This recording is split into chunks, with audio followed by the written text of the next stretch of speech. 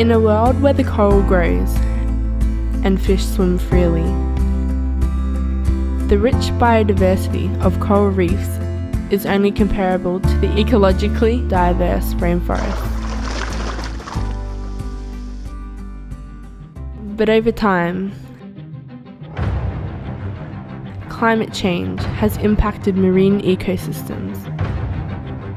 As the corals are bleaching, critical habitats are disappearing, populations are increasing like never before, and the impact is being felt by the natural world. People are consuming more and more plastic, which is choking the ecosystem. But some believe that we must change our ways and reverse the destruction of the natural environment.